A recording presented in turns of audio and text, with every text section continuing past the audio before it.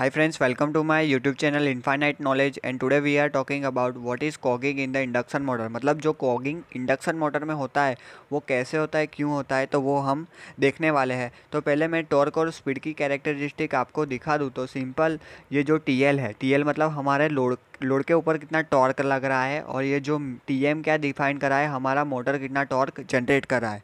तो ये कुछ इधर से स्टार्ट हो रहा है और ये जो टी एल है वो इतना है। मतलब हमारा जो लोड को चाहिए, वो टॉर्क सिर्फ़ इतना ही है और हम सफिशियंट टॉर्क जनरेट कर रहे हैं। मतलब टी एम हमारा टी एल से ज़्यादा है। अब, अभी क्या होगा टी एम जो सफिशियंट है टी एल से ज़्यादा है तो हमारी रोड मोटर इजीली स्टार्ट हो जाएगी रन हो जाएगी। लेकिन अभी दूसरी फिगर देखते हैं मतलब दूसरे TL को देखते हैं तो TL कुछ ज़्यादा है मतलब कुछ इतना है TL हमारा और टीएम उससे कम है। मतलब जो टीएम है, जो मोटर जो टॉर्क जनरेट कर रही है, वो लेस है टीएल से। अभी क्या होगा कि सफिशियंट लोड ज़्यादा होगा। लोड ज़्यादा होगा मोटर सफिशियंट टॉर्क जनरेट ही नहीं कर रहा तो हमारी मोटर स्टार्ट नहीं होगी। तो ये सिंपल होगा हमारा स्पीड और कैरेक्टरिस्टिक अभी हम बात कर रहे थे व्हाट इज़ कॉगिंग ये आपको पता होना चाहिए कि कैसे वो लोड को टॉर्क दे रहा है और कितना चाहिए। थोड़ी स्पीड टॉर्क की जानकारी हो तो अच्छा रहेगा कॉगिंग समझने में। cogging in induction motor, the phenomena of magnetic locking between the stator and the rotor teeth in the इस कॉल इस कॉल कॉगिंग और तीथ लॉकिंग। मतलब ये जो हमारा स्टेटर हो गया और ये जो बीच वाला है, वो हमारा रोटर हो गया। मतलब अभी इन दोनों के बीच में जो एट्रैक्शन होगा, ये तीथ के बीच में मतलब वो लॉक हो जाएगा, रोटर हमारा रोटेट नहीं करेगा तो उसको हम क्या बोलते हैं, मैग्नेटिक लॉकिंग और कॉकिंग कॉगिंग बोलते हैं। मैग्नेटिक लॉकिंग क्यों? क्योंकि इसके बीच में ये जो हमारा क्या है, ये वही फिगर है, उसको इधर से कट कर दिया और लीनियरली लख रख दिया है, इधर से कट करके। तो आप इधर जो काव है, आप ऐसा कंसिडर करो कि ये जो काव है, उसको मैंने स्ट्रेट ले लिया है। तो कुछ ऐसा हमको मिलेगा। तो इसके बीच में ये जो हमारा स्टेटर है और ये जो नीचे वाला है, वो हमारा रोटर है।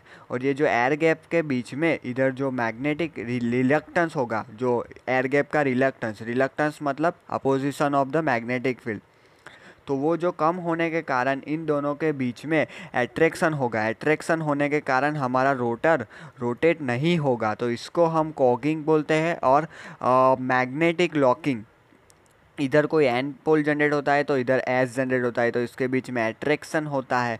तो एट्रैक्शन होने के कारण हमारा रोटर रोटेट नहीं करता है। Even after applying full voltage to the stator winding the rotor of the three phase induction motor fail to start मतलब हमारी मोटर चालू नहीं हो रही। This condition is called cogging और मैग्नेटिक लॉकिंग तो अभी आगे देखते हैं। This condition is arise this condition arise when मतलब ये कब होता है? When rotor slots are equal to the stator slots और the stator slots are integer multiple of the rotor slot मतलब जो स्टेटर के स्लॉट हैं, वो रोटर के स्लॉट के बराबर हो जाए। मतलब जो स्टेटर के स्लॉट है, वो रोटर के स्लॉट्स के बराबर हो जाए। मतलब सेम हो, तब ये कंडीशन हो सकती है। दूसरा क्या है?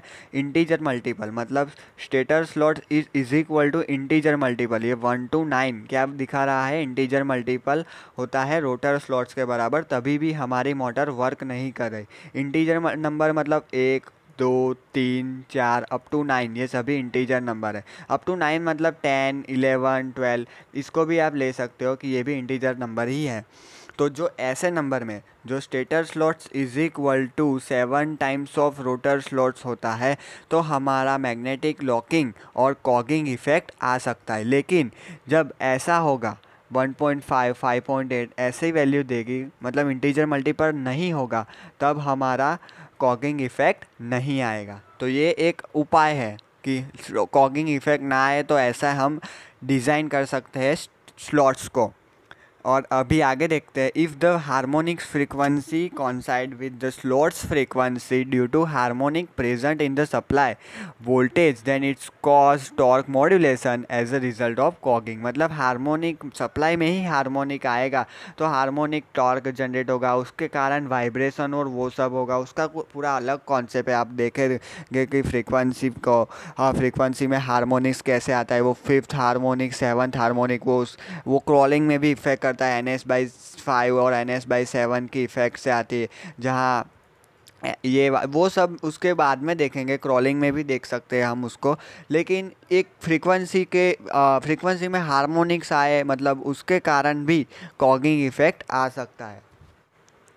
The number of stator slots equal to और an integer multiple of the rotor slots strong alignment produced between the stator and uh, rotor slots. Uh, मतलब क्या बोल रहा है कि ये जो हमारा स्टेटर है और ये हमारा रोटर है और उसके बीच में strong alignment force is produce between stator and rotor as a result of this force and alignment torque greater than the exciting torque मतलब जो हमारा एक्सीटरिंग टॉर्क मतलब जो टीएम है उससे ज़्यादा हो गया।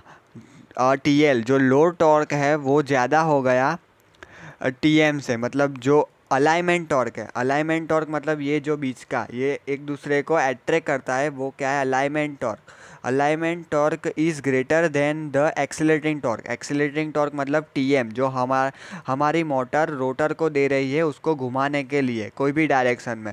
तो वो जो टी एम से ज़्यादा हो गया कौन सा अलाइनमेंट टॉर्क मतलब ये दोनों एक दूसरे से ज़्यादा मजबूताई से अट्रैक्ट हो गए तो क्या हो सकता है? With consequent failure of the motor to start मतलब हमारी मोटर स्टार्ट होने में फेल हो गई मोटर स्टार्ट नहीं होगी। And thus a locking is created between the stator and rotor teeth and this condition is known as a cogging और magnetic locking मतलब ये जो स्टेटर और रोटर के बीच में लॉकिंग होगा, इधर दिखाया गया है लॉकिंग एन और एस कोई भी जनरेट हुए पोल और उसके कारण लॉक हुआ। इसको बोलते हैं मैग्नेटिक लॉकिंग और कॉगिंग। तो अभी लास्ट में हम देख देख लेते हैं। इन ऑर्डर टू रिड्यूस और eliminating eliminate the process of cogging cogging को कैसे एलिमिनेट कर सकते हैं? तो उसमें, उसके दो उपाय है। The number of stator slots are never made equal to the rotor slots और एन इंटीजर मतलब रोटर स्लोट और स्टेटर स्लोट सेम नहीं होने चाहिए और दूसरा उसका रेशियो भी मतलब stator slots divide by rotor slots is not equal to any integer number ये इंटीजर नंबर भी नहीं होना चाहिए। जो इंटीजर नंबर होगा तो भी हमारा कॉगिंग इफ़ेक्ट आएगा और सेम होगा। स्टेटर स्लॉट और रोटर स्लॉट दोनों सेम होंगे, तभी भी हमारा कॉगिंग इफ़ेक्ट आएगा।